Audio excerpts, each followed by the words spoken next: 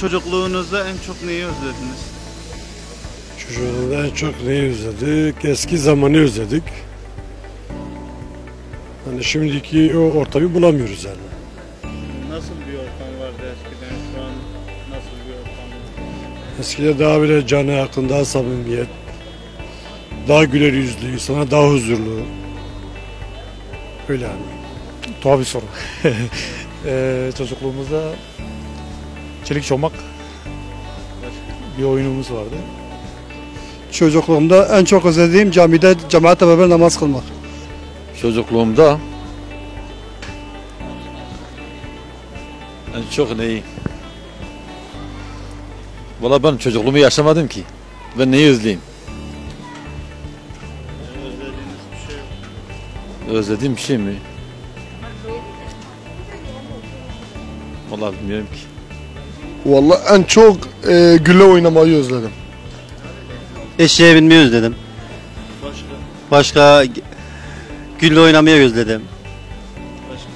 Başka da her şeyi özledim. Çocuklukta her şey özlenir ya. Özlenmez mi? Hiçbir şey özlemem. En çok gerçekten çocuk olmayı. Başka? yani Yani özlediğiniz özel bir şey var mı? Özlediğimiz mesela şöyle e, dertten tasadan uzak olmayı çok özledim. E, işte nasıl desem hani böyle sorumluluk sahibiyiz ya şu an. O zamanlar o yoktu. Onu özledim. O kadar. Yani zaten en çok bunları özleriz. Herkes gibi. Çocukların özlemiş. Misket oynamayı özledim. Futbol oynamayı özledim. Çocuklar, çocuklarla beraber futbol futbol oynamayı özledim. Çocuk başka aklıma şu anda gelmiyor. Salıncakta sallanmayı. En çok futbol oynamayı özledim. Şu anda oynayabilirsiniz. Oynayamıyorum. Vaktim pek olmuyor. İş güçle uğraşıyorum. Tabii ki de çocukluğumu. Her şeyiyle ya. Çocuk saftır, temizdir. Bütün duygularıyla, oyunlarıyla, kahkahalarıyla, ağlamasıyla, her şeyle. Çocukluğumuzda mı?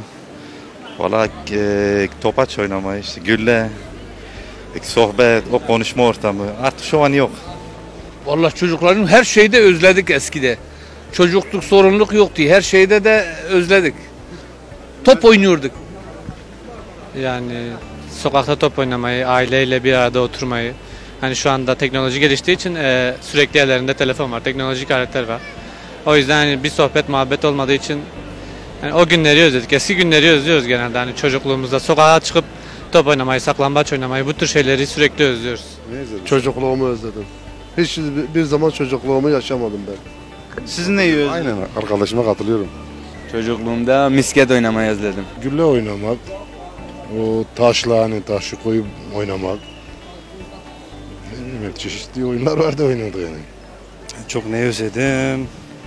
Yani dürüstlüğü özledim, samimiyeti özledim. Yani doğalı özledim.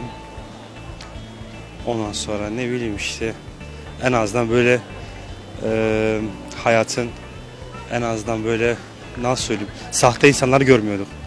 En azından küçük paralarla mutlu oluyorduk. Yani hayatın bu kadar bize kazık attığını bilmiyorduk. Ya bir lirayla mutlu olan insanlardık yani küçükken yani. Yerimi, toprağımı Nerede yaşıyordunuz? eskiden İstanbul'da yaşıyordum. Şu ana döndüm. Çocukluğumdan çok özlediğim şey mahalledeki arkadaşlarımla tekrar bir arada olmak. Çocukluğumda en çok neyi özledim?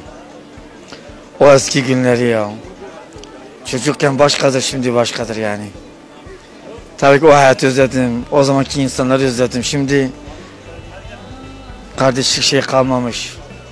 Ulan beriya günde kokiriye. Günde mi koştur tıneye. Çavafkun. Zaruk diyamil gündü bu hoş bu.